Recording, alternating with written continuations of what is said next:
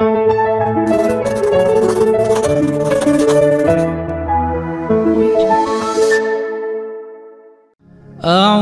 بالله من الشيطان الرجيم. بسم الله الرحمن الرحيم.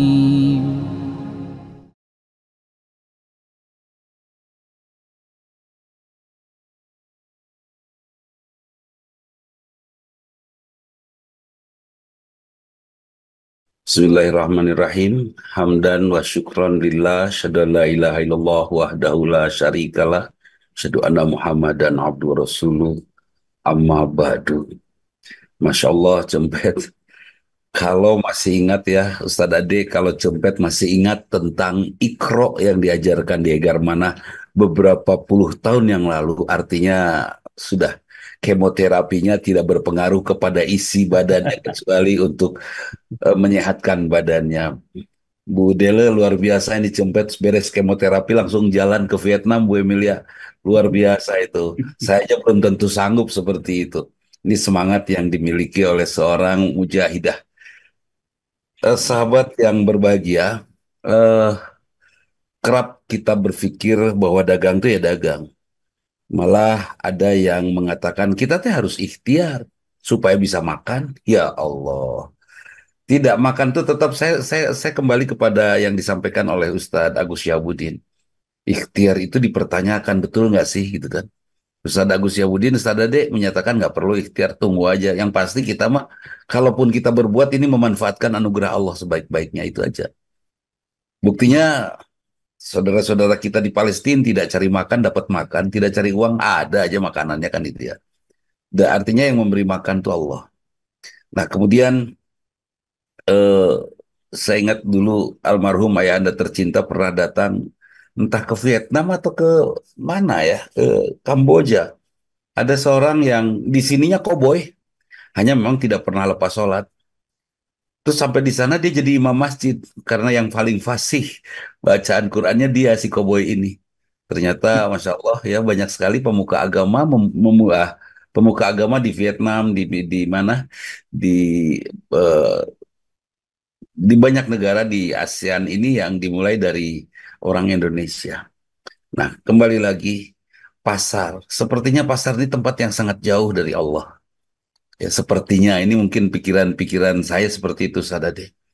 Banyak sekali orang yang akhirnya orang yang mencari uang begitu saja. Bahkan relatif hampir semua doa ya, semua doa yang diminta kepada saya, Ustaz, apa doanya gitu loh. Supaya saya dapat rizki, supaya saya bisa uh, bersodako, supaya saya bisa banyak sekali alasan pengen punya uang supaya saya bisa berjakat banyak. Hmm, itu kan alasan yang benghar teh. Nah, jadi banyak sekali pasar itu seolah-olah tempat yang jauh dari Allah. Karena itu wajar kalau para pemuka agama di zaman kalau di kita mungkin zamannya para wali ya menempatkan masjid itu di dekat pasar. Ada masjid, ada pasar, ada penjara. Kalau di Bandung Masjid Agung, pasarnya di belakang itu ada pasar, kemudian dekat situ ada banjai penjara. Pasti pasti seperti itu dulu di zaman para wali dibuatnya seperti itu. Ada apa? Ternyata masjid ini berfungsi untuk mengingatkan mereka yang berniaga. Jangan lupa kepada Allah karena rizki itu dari Allah. Ya dan rizki itu berapa besar sih kita butuh butuh butuh uang gitu kan? Bahkan untuk rumah pun berapa besar kita butuh rumah gitu kan. Ada orang yang punya rumah sampai ratusan meter, ya ratusan meter persegi rumahnya saja. Setelah tua dia hanya duduk di, di, di kamarnya saja dan tidak ke mana-mana. Dan rumahnya sisanya wallahu alam siapa yang ngisi. Seperti itu. Ya, ada seorang ibu sepuh waktu itu saya ingat sekali di, di rumahnya tuh ada 16 kamar tuh bayang tahu deh genep belas kamar teh terus ibunya tuh hanya diam aja di bawah sendiri duduk dan tidak bisa ke mana-mana ya Allah ya Robi mungkin saat dia membangunnya lupa ada Allah yang meminta hak, meminta kita melakukan kewajiban. Bahwa setiap kamar yang ada di rumah kita akan dimintai pertanggungjawaban. Tah, tah ya, Bu Emar ada ruas salah, mengkaning di rumah Bu Emar ada kamar kosong, seperti ada kamar yang tidak diisi. Kan seperti itu. Jadi semua akan ditanya. kamar kita akan ditanya, benda-benda di rumah kita akan ditanya. Bahkan benda yang kita beli tahun 90 yang sekarang sudah kadaluarsa mungkin itu pun akan ditanya meskipun sudah kadaluarsa. Ya. Tah Mama Ute di mana? Di Pangalengan Mama Ute. Rumahnya besar. Itu akan ditanya itu nanti. Nah, jadi untuk mengingatkan mereka yang berniaga, maka didirikanlah oleh para ulama itu masjid di dekat pasar. Malah para ulama banyak mengingatkan ketika ditanya, Ustadz, Pak Kiai, Gus, saya pengen kaya, apa yang harus saya lakukan? Jawabannya Kang Jang Sumarna, itu luar biasa jawabannya. Baca surat Al-Waqi'ah sekian kali. Kan gitu ya. Supaya benghar. Ternyata setelah saya lihat Al-Waqi'ah ini tentang kiamat. Artinya apa? Wahai mereka yang dagang, wahai kalian yang sedang berniaga, wahai kalian yang berdagang. Ingat, jangan serakah, kalian akan mati gitu kan. Artinya keserakahan itu bukan tidak boleh berdagang banyak dan tidak boleh kaya, bukan. Jangan mengurangi timbangan, jangan jangan markup gitu ya, jangan jangan sampai seperti jangan terus serakah mengambil keuntungan dan seterusnya. Insya Allah. Jadi para ulama meminta kepada umatnya baca surat Al-Waqiah kalau tidak salah 10 kali ya. 10 kali di Masjidil Haram. Oh, itu berung-berung orang yang pengen kaya pergi ke Masjidil Haram. Betul, jadi kaya betul di bantuanku jin, Budele. jin yang yang yang membantu uh, orang untuk jadi kaya setelah membaca surat Al-Fatihah, eh Al-Waqiah. Padahal Al-Waqiah ini betul-betul surat yang isinya tentang sesuatu di akhir kehidupan kita. Walau alam, tapi yang jelas kita simak saja nanti Ustadz Ade. Jangan sampai kita mencari dunia ini hanya untuk kepentingan hiburan mata, telinga, lidah, ya rasa, hati dan perut saja. Tidak tidak untuk juga badan kita secara keseluruhan untuk kesehatan tidak.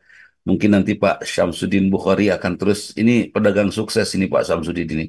Pak Syamsuddin akan berniaga dengan niat tahun ini akan berzakat dua setengah miliar ya Pak Syam ya akan berzakat dua setengah miliar.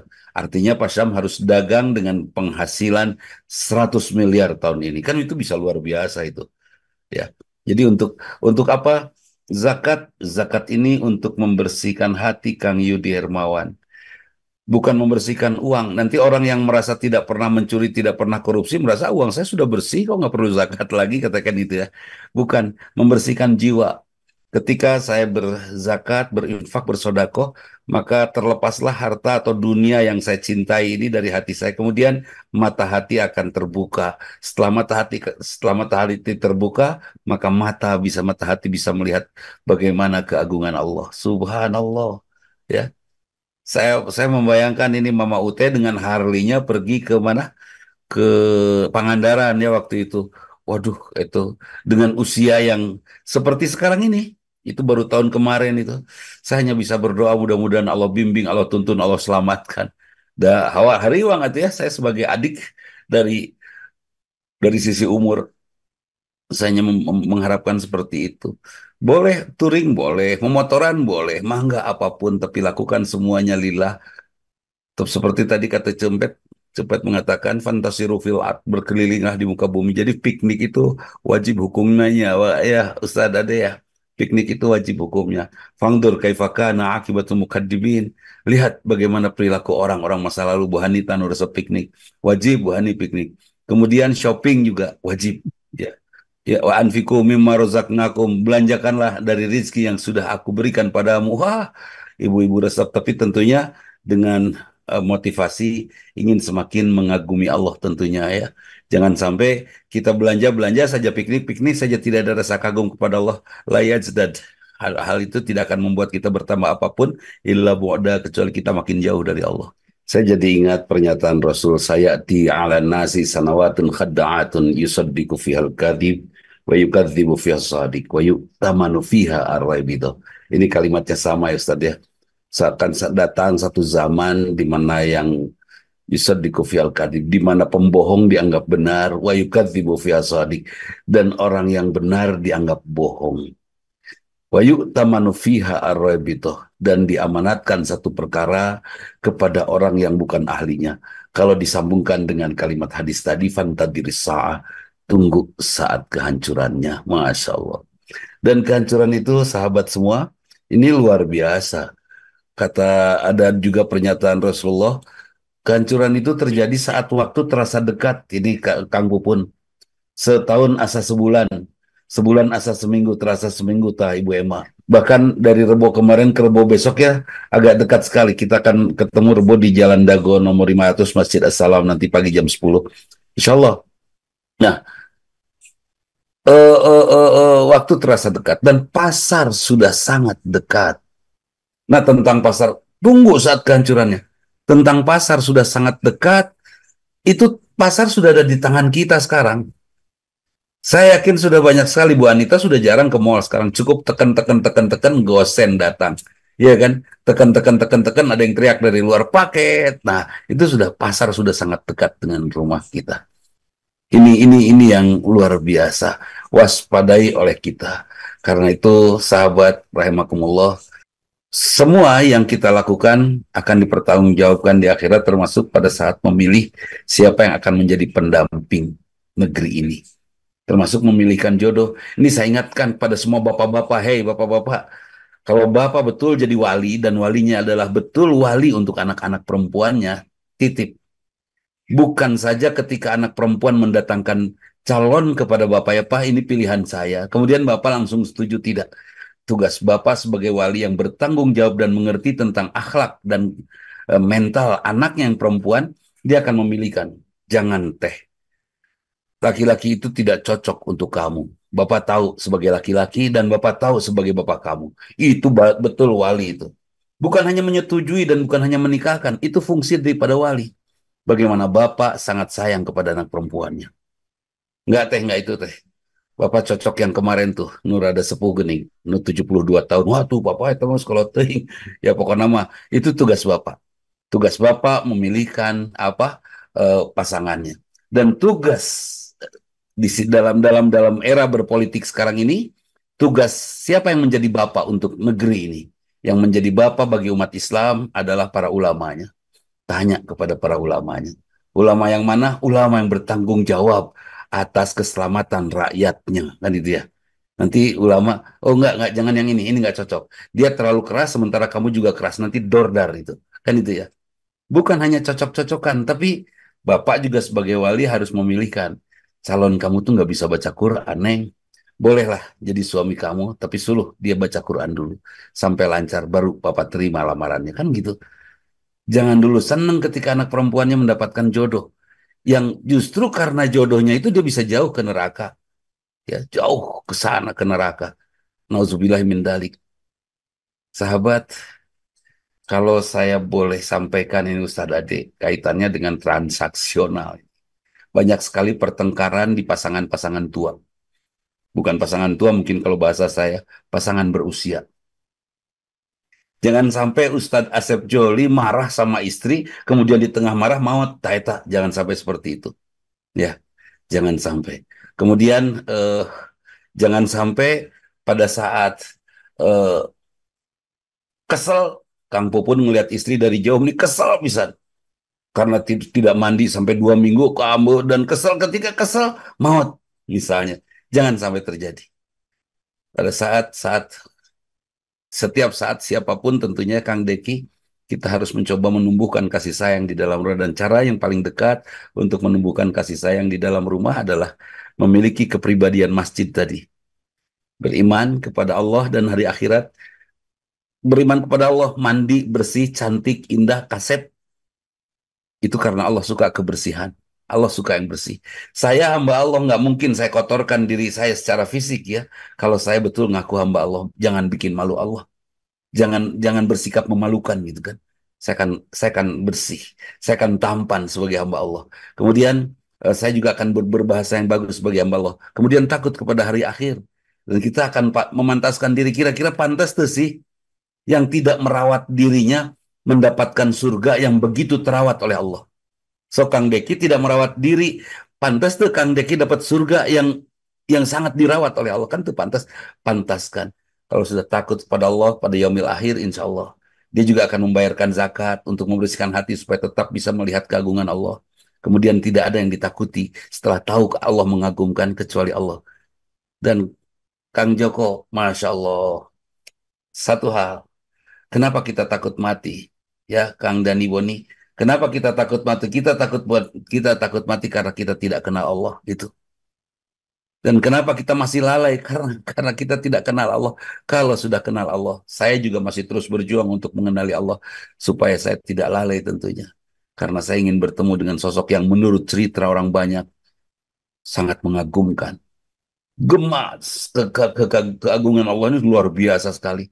Dan masuk di telinga saya, masuk di hati saya, tapi belum real. Terasa bahwa keagungan itu ada. Nah jadi kita coba untuk pantaskan diri kita semua hal termasuk memilih pemimpin. Seandainya Kang Pupun kebetulan anggota Karang Taruna masih sangat muda, saya pilih Kang Pupun jadi pre, jadi presiden, terus jadi acak-acakan dunia. Karena saya rela membuat Indonesia dipimpin oleh Karang Taruna, misalnya.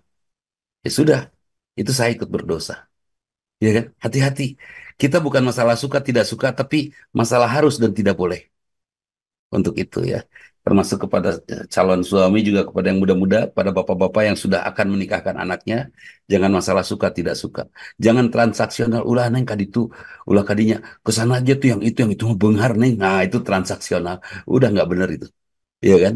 Jadi pastikan betul-betul anak kita bisa dipimpin oleh seorang imam yang betul-betul berkualitas dari sisi akidah akhlak juga sosialita aja berkualitas, insya Allah anak kita akan bahagia menjalankan kehidupan sehingga kita akan memberikan kebahagiaan juga bagi cucu-cucu kita yang akan lahir nanti. Iya kan? Pahami, cucu kita yang akan lahir jangan sampai lahir dari pasangan yang salah orang tuanya, kitanya memilihkan mereka, menyetujui mereka seperti itu. Mudah-mudahan Allah ridho. Itu saja. Mudah-mudahan bermanfaat. Thank